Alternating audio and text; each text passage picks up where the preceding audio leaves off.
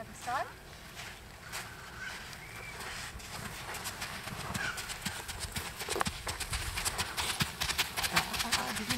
Here you might have to move to the inside of the saddle, step up and over. Alright. And then ask against the top. She wanted to offer to him before I asked her. Yeah, but the nice thing is you're holding her accountable for it.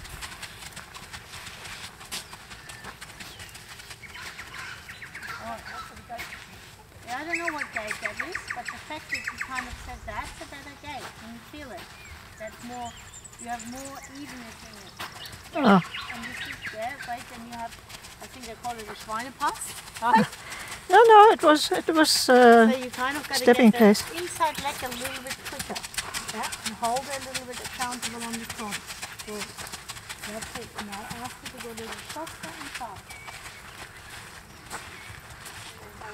hold it a bit accountable. Right feet going. Ask her to bend a bit to the left head. Lovely. There you go.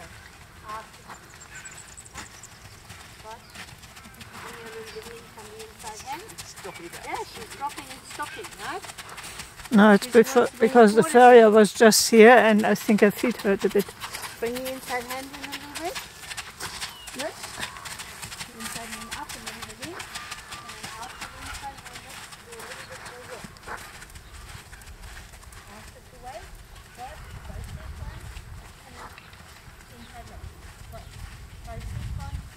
Inside leg. Good. Right this one. Inside leg.